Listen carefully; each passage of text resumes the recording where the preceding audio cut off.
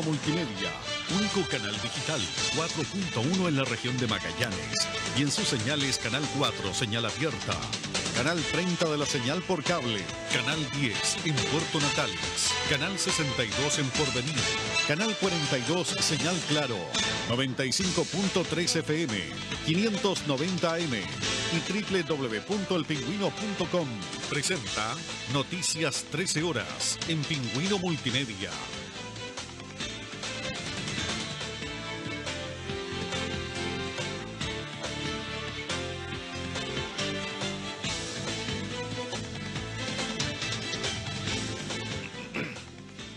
Buenas tardes, ¿cómo están? Gusto saludarles, bienvenidos a esta segunda edición de Noticias acá en P1 Radio en este día lunes 24 de enero. Bastante agradable en temperatura, pero con viento, sí, mucho viento hemos tenido en la jornada de hoy y bueno, se hablaba de que íbamos a tener viento de hasta 90 kilómetros a la hora en, esta, en este día lunes. A esta hora estamos con 14 grados de temperatura, con humedad del 35, perdón, 51% de humedad, viento de 35 kilómetros a la hora, dirección oeste, buena visibilidad con buen tiempo también, ¿eh? Se espera que en la tarde pudiera caer algún chubasquito, probabilidad de chubasco durante la tarde. Y de ahí ya despejaría nuevamente. Los vientos sí se van a mantener por sobre los 50 kilómetros a la hora en la región de Magallanes. Eso es. Comenzamos las noticias acá, en Picuno Radio. Estos son los titulares. El tribunal entregó un veredicto de condena a un autor de femicidio frustrado contra su ex conviviente. Magallanes se mantiene por sobre los 400 casos diarios y nuevamente supera los 2.000 casos activos contagiados acá en la región de Magallanes. Y esta mañana se realizó la instalación del primer poste del proyecto Construcción Proyecto Eléctrico Periurbano Poniente Sector Andino.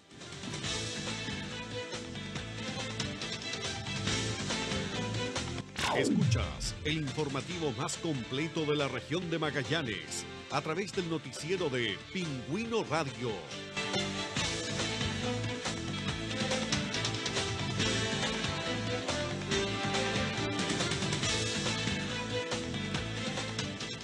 Muy bien, vamos a las informaciones cuando son las 13 horas con 4 minutos. Fíjese que hubo una llamada a comandancia esta, esta mañana ahí en el sector de aves australes.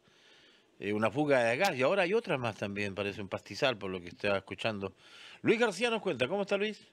¿Cómo está Jorge? Muy buenas tardes. Efectivamente, en horas de esta madrugada, la central de Cuerpo de Bomberos despachó dos unidades de la tercera y séptima compañía hasta calle Condel, lugar donde se encuentran ubicados unas especies de eh, viviendas en, al interior de una parcela que fue loteada.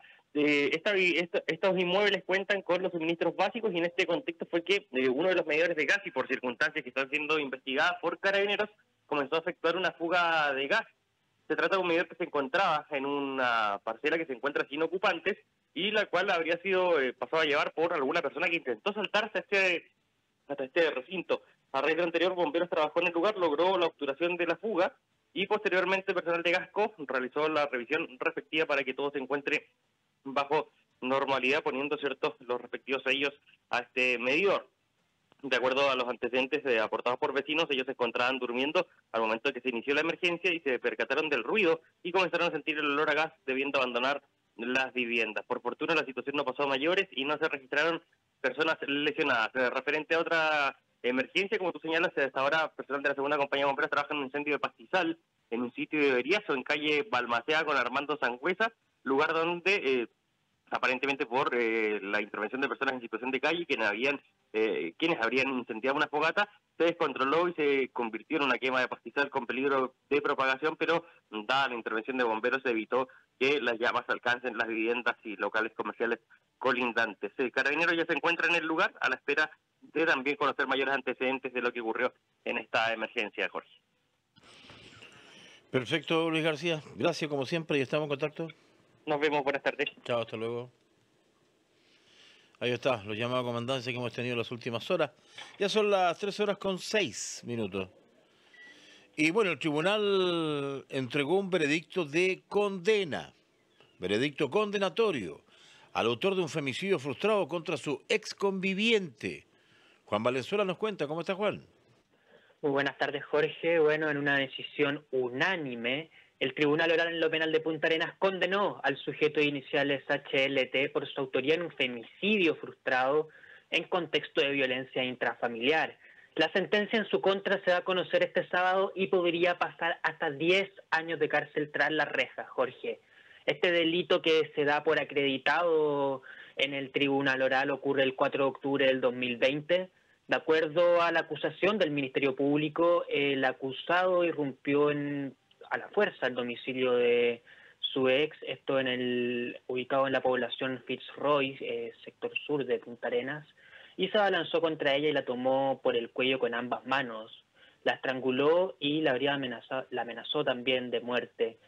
El ataque no escaló a mayores debido a que la mujer apretó un botón de pánico que le entregó anteriormente el Servicio Nacional de la Mujer. Carabinero llegó seis minutos después de eh, haber accionado esta, esta herramienta y se pudo evitar que la agresión pasase a mayores. La afectada resultó con lesiones de mediana gravedad y el acusado esperó el juicio en su contra en prisión preventiva. La rendición de pruebas de este juicio comienza el 11 de enero, se prolongó bastante, ¿eh? comparecieron cerca de 20 testigos y 10 peritos. Los jueces pudieron escuchar el testimonio de trabajadores del CERNAMEC, funcionarios policiales que mm, frustraron este femicidio y la propia víctima compareció. Ella prestó su declaración en estrados, separada por un biombo de su agresor, para declarar sobre la violencia sufrida. Finalmente, la decisión, eh, el veredicto se comunicó esta mañana. La sala compuesta por las magistradas Rosa Luque, Constanza Suter y Palmira Muñoz decidieron por unanimidad eh, condenar al acusado. Se arribó a un veredicto condenatorio. Y ya leída esta decisión, entonces el Ministerio Público reiteró sus argumentos para que se le imponga a esta persona la condena de 10 años de cárcel que indican en su acusación. La defensa, por otro lado, ya adelantó que van a recurrir a la Corte de Apelaciones e incluso a la Corte Interamericana de Derechos Humanos, de acuerdo a lo señalado por la defensa. De todos modos, solicitaron que el tribunal oral reconozca una atenuante responsabilidad y que sancione a este individuo en tres años de cárcel, Jorge. Por ello estamos hablando de ese rango por este femicidio frustrado, entre los tres años de cárcel que pide la defensa y los diez que pide la fiscalía. ¿De quién recae la decisión? Del tribunal que va a comunicar su decisión de sentencia este sábado. Jorge. Ya, pues, veamos cómo le va. Pues. Gracias, Juan, que te vaya bien. Muy buenas tardes. Buenas tardes. Las 13 horas con 10 minutos. Y hoy día se mantiene Magallanes por los sobre 400 casos, 411 específicamente, eh, casos diarios, y nuevamente superamos los 2.000 activos eh, en cuanto a contagios. No son buenas cifras, Patricio Piña, buenas tardes. Hola, ¿qué tal Jorge? Así es, en el reporte de hoy se notificaron en Magallanes 411 casos nuevos de coronavirus, ya son 237 de estos eh, sintomáticos, 27 son asintomáticos, 47 son confirmados por antígeno y también, bueno, 152 reportados por laboratorio. En cuanto a los casos registrados, son producto del análisis de 1980 muestras de PCR, donde un total de 364 fueron informadas como PCR positivo, alcanzando también, bueno, una positividad diaria de 18,38% y una positividad promedio semanal de un 21,8%. Con este aumento, la región eh, nuevamente alcanzó los 2.011 casos activos confirmados, Asimismo, se confirma que según toma de muestra, las regiones con mayor positividad en la última semana son Tarapacá, Magallanes, Arica y y también Antofagasta en ese mismo orden, mismas regiones que tienen la tasa de incidencia de activos más alta, donde la región más austral alcanzó los 1.110,2. En cuanto al recuento total, hasta la fecha son 35.774 los casos confirmados acumulados desde el inicio de la pandemia, 517 los fallecidos y 33.127 los casos confirmados recuperados. En lo que respecta a las hospitalizaciones en la red asistencial de la región, hay una ocupación del 87% que presenta la mañana de este lunes, se presenta acá esta mañana del lunes 24 de enero la unidad de pacientes críticos del Hospital Clínico de Magallanes, lo que se traduce en la disponibilidad de un cupo UCI y tres cupos UTI respecto asimismo de la red integrada COVID-19 que está compuesta por establecimientos con camas UCI UTE integrada por el Hospital Clínico de Magallanes, también por el Hospital Dr. Augusto Esman de Natales y también, bueno, por el Hospital de las Fuerzas Armadas y la Clínica Red Salud de Magallanes, se registra un 74% de ocupación con disponibilidad de 11 camas críticas, 6 camas UCI y 5 UTI, mientras que los ventiladores mecánicos invasivos alcanzan un 67% de ocupación con 11 equipos ocupados y uno disponible. Asimismo, en cuanto a residencias sanitarias en Magallanes, existen dos residencias sanitarias informadas que contienen 41 camas totales, donde actualmente hay 15 usuarios en residencia. En esa misma línea son tres las camas disponibles y 11 las camas que se encuentran inhabilitadas, ya sea por aseo, mantención, piezas compartidas o para uso de staff de personal de turno, por lo que no hay camas disponibles, siendo un 90%, eh, perdón, eh, estando camas disponibles, son tres las camas, por lo que hay un 90% de ocupación. En cuanto a los testeos preventivos, decirles también que de 9.30 a 12 horas se realizó hoy la toma de PCR en el gimnasio de la Confederación Deportiva de Punta Arenas, con cubo para 250 personas. En este mismo espacio se efectuará esta toma de PCR en la jornada de la tarde también, de 14.30 a 16.30 horas, con un cupo que será de 150 personas.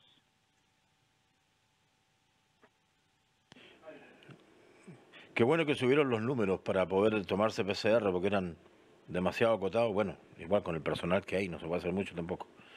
Eh, Pato, gracias. Que te vaya bien. Igualmente, Jorge, buenas tardes. Buenas tardes.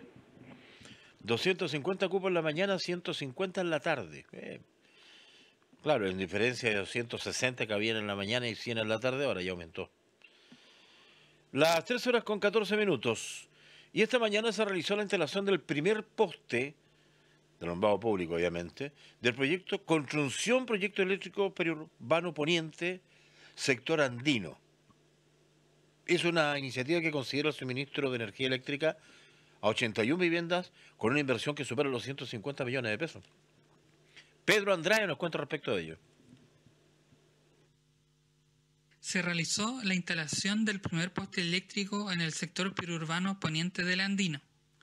A eso de las 10.30 de esta mañana, en la prolongación del sector Avenida Allende número 3, se instaló el primer poste eléctrico de la iniciativa Construcción Proyecto Eléctrico Periurbano Poniente Sector Andino. En la cita estuvieron presentes el gobernador Jorge Frías, además del actual presidente de la Junta de Vecinos del sector Ramiro Díaz, junto con la actual presidenta electa Lucila García. En cuanto al proyecto, este consta de un tipo de extensión de red desde el centro de Punta Arenas hasta el sector de Monteverde, que alimentará de energía a 81 viviendas y que tuvo un costo de más de 150 millones de pesos.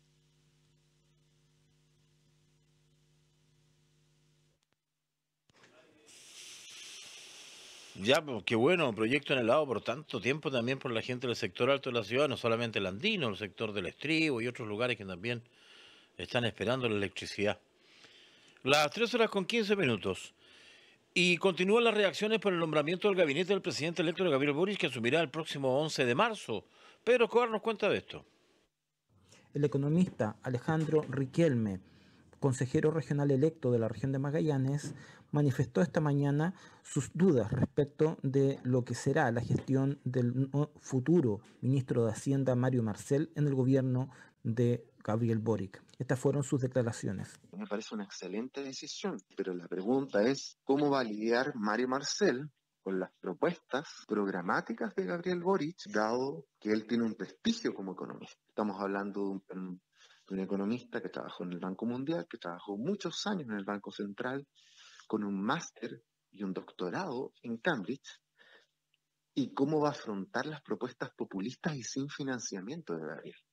Más aún, que él ha sido un opositor a muchas de las propuestas del actual presidente, como por ejemplo la reducción de las 40 horas de la jornada laboral, que justamente fue su ministra Vallejos la que la propuso y la lideró, él la criticó y estuvo en contra.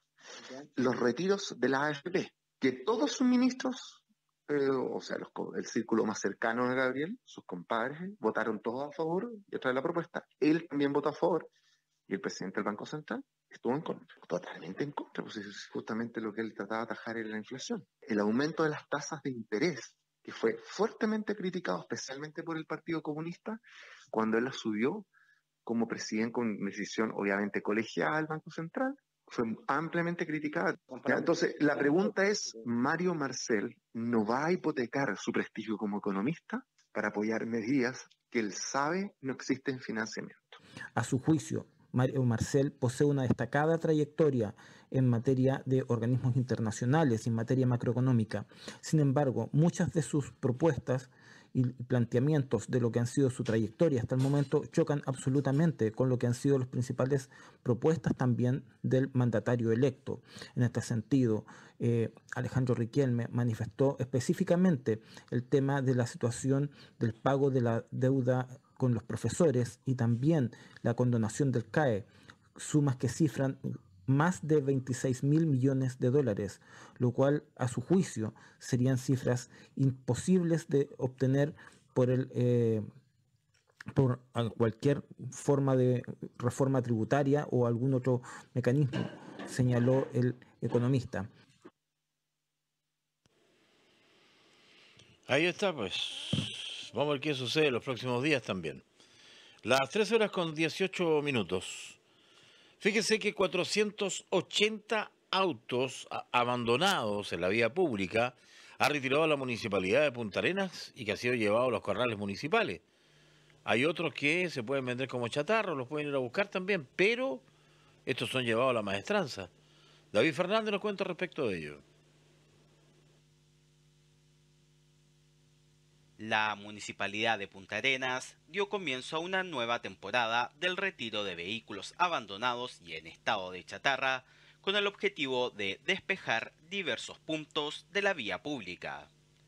En este contexto, como un buen inicio, calificó el alcalde de Punta Arenas, Claudio Radonich, luego de conocer los avances de este proyecto municipal, el cual no ha estado exento de problemas pero que ya presenta alrededor de 480 automóviles fuera de las calles. Este es un tema que es bastante más, más, más complejo. De, de los retiros por, por, por parte nuestra son 210 pero los propietarios han retirado más de 250 vehículos por, por sí mismos y hay más de 150 en, en, estado de notificación. Muy claro, nosotros no es que estemos sacando todos los autos que están votados, porque se tiene que venir a ver si hay patentes, como es en este caso, ¿no, es cierto?, donde los vecinos nos han informado de un número importante de vehículos que están votados en toda nuestra ciudad.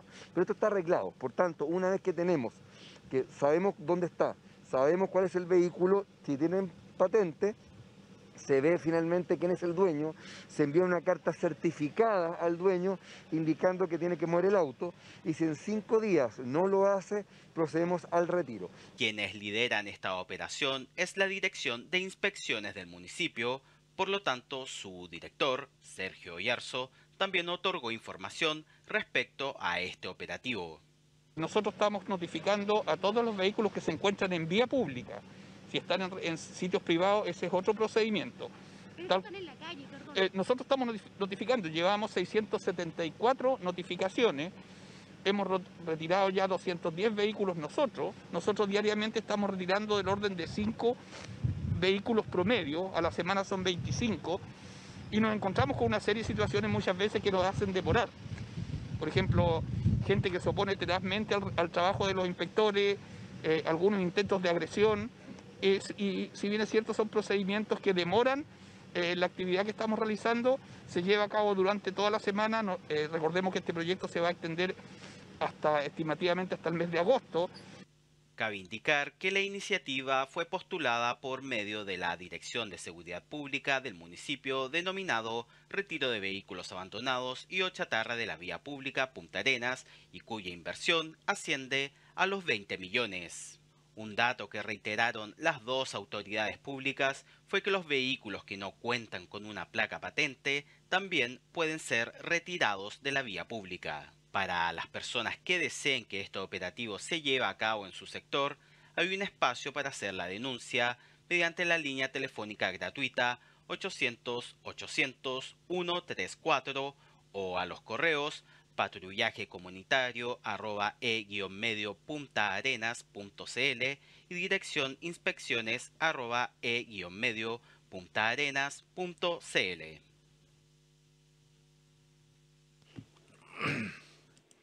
Ahí está, pues. Eh, le avisan antes y después se llevan el auto, obviamente, ¿no? Hay algunos de ellos me han sacado el auto acá, no no me han avisado nada, pero bueno. Oiga, lo otro, eh, trato inhumano, tardanza excesiva, falta de servicio, son algunos de los reclamos, las quejas que presentan los, los viajeros argentinos que utilizan los pasos fronterizos de integración austral o Monte Aymon y el de San Sebastián. Ahora, no tienen otra alternativa, tienen que esperar nomás. Eh, claro, porque tienen que cruzar sí o sí de alguna manera. Pero Escobar nos cuenta. Trato inhumano, tardanza excesiva, falta de servicios. Son algunas de las más duras quejas expresadas a través de la prensa trasandina y redes sociales por viajeros de esa nacionalidad que transitan por estas fechas a través de los pasos fronterizos Monte Aymon y San Sebastián, entre las provincias argentinas de Santa Cruz y Tierra del Fuego. Aunque desde aduanas reconocen que los flujos de visitantes son menores a los de años normales, explicaron que la situación se ha tornado compleja debido a las necesarias precauciones sanitarias dictadas por el Ministerio de Salud en resguardo de la población nacional, incluidos el personal fronterizo y los propios viajeros. Así lo expresó ayer el director regional de aduanas, Rodolfo Valenzuela. Obviamente los ciudadanos argentinos quieren pasar más rápidamente nada más, pero nosotros tenemos que guardar todos los protocolos de salud pertinentes. No se toman los, los, antígenos preventivos para aquellos que van en, turismo y los que ingresan a Chile se toma a, la totalidad. Este es un trabajo mancomunado de equipo, ¿ah? de PDI, eh, aduanas y el SAC también en su momento. O sea, aquí no hay un tema de, de una predisposición, sino que sencillamente cumplir los protocolos y cuidar a nuestros funcionarios y el, la, y el tema sanitario en Chile. Es eso. Obviamente uno quisiera quizás más rápido, ¿no? Pero, pero a veces no se puede, sencillamente. Y además que a veces no llegan con todos los papeles listos. Usted sabe que ahí hay todo un tema. Una opinión similar dio a conocer además el presidente regional del Sindicato de Trabajadores de Aduanas, Jorge Restovic, quien enfatizó que no estamos viviendo una situación normal. La gente tiene que entender de que ellos se están moviendo como que si fuesen épocas normales. El flujo de tránsito entre Gallegos y Río Grande es como que si aquí eh, estuviésemos en época normal. Ya. En Argentina no hay ninguna restricción ni control. Ahora, los aduaneros no tenemos ninguna responsabilidad absolutamente de nada, porque aquí los controles son sanitarios. Aquí no siquiera hay cuota como tiene, por ejemplo, Argentina para el ingreso al continente de 200 vehículos diarios. Aquí se atiende a la gente, se les hace los PCR, perdón, se les hace los antígenos de entrada. Ya. Y eso tiene un tiempo. O sea, ellos lo que quieren es que se libere el paso y la gente ingrese y salga así como así. Pues son medidas sanitarias, no son medidas administrativas ni de PDI, ni de aduana, ni de SAL. Claro. Entonces, ellos, ellos tienen que entender de que el tema, obvio que es más lento que en otras oportunidades. Si estamos en, en una situación todavía de emergencia sanitaria y nosotros después de mucho, de mucho batallar por el nivel de contagios que ya estaba sufriendo incluso el personal que trabaja en frontera, pedimos que por favor se le hiciese eh, antígeno a, a todo el que ingresa al país y eso ha dado como resultado también una devolución constante de personas hacia su territorio porque marcan positivo.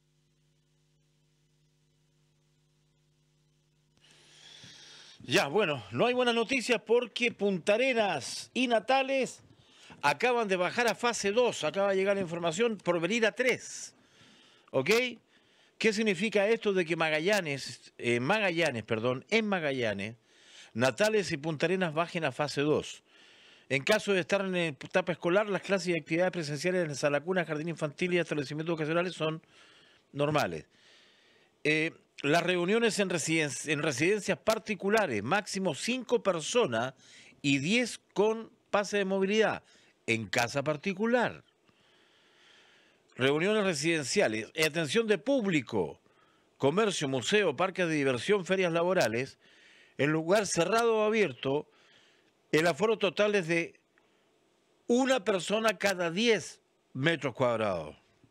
Es decir, mínimo tres clientes o máximo tres clientes. La atención presencial en restaurantes, café y fuentes de soda. En espacios cerrados, solo asistentes con pase de movilidad y con un máximo de dos personas por mesa. Siempre debe haber dos metros entre los bordes de la mesa. La actividad en gimnasio y similares.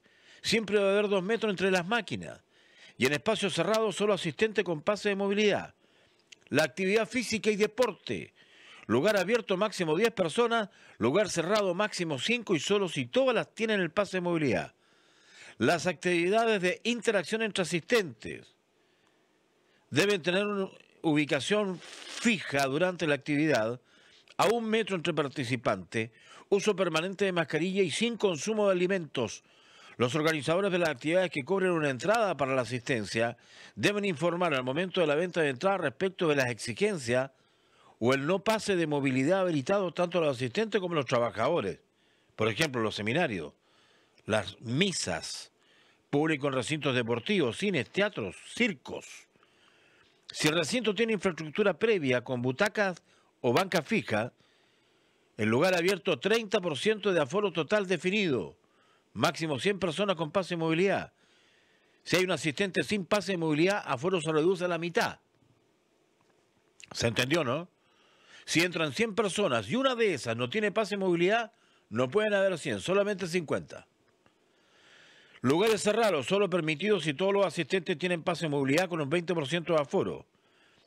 Si el recinto no tiene infraestructura previa con butaca o banca fija, la ubicación de asistentes permanece a 1,5 metros de distancia entre ellos. Lugares abiertos 50 a 100 personas y todas tienen pase de movilidad. Lugares cerrados, todos los pases de movilidad máximo 50 personas prohibido el consumo de alimentos.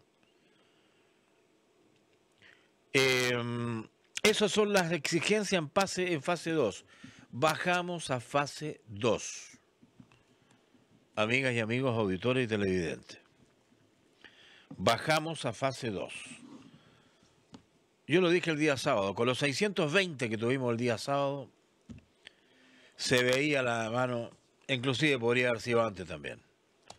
Ahora no nos quejemos, no aleguemos, no le pongamos críticas a alguien, porque acá es culpa de todos. No solamente la autoridad sanitaria, no le echa la culpa al alcalde, no le echa la culpa al gobierno.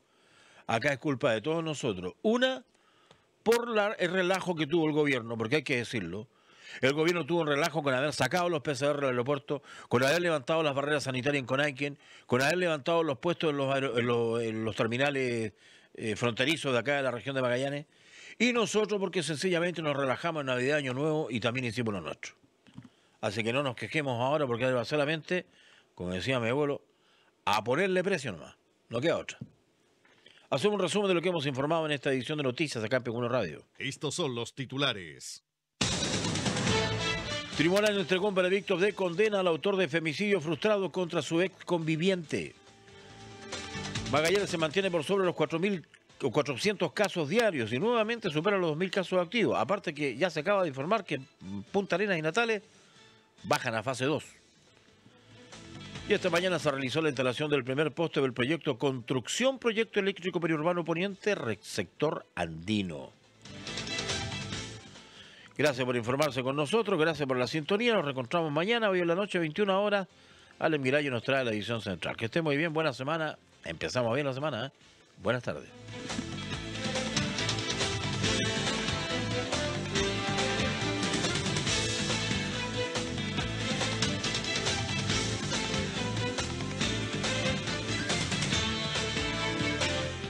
Pingüino Multimedia Único canal digital 4.1 en la región de Magallanes y en sus señales Canal 4, señal abierta. Canal 30 de la señal por cable. Canal 10 en Puerto Natales. Canal 62 en Porvenir. Canal 42, señal claro. 95.3 FM. 590 AM. Y www.elpingüino.com. Presentaron Noticias 13 horas en Pingüino Multimedia.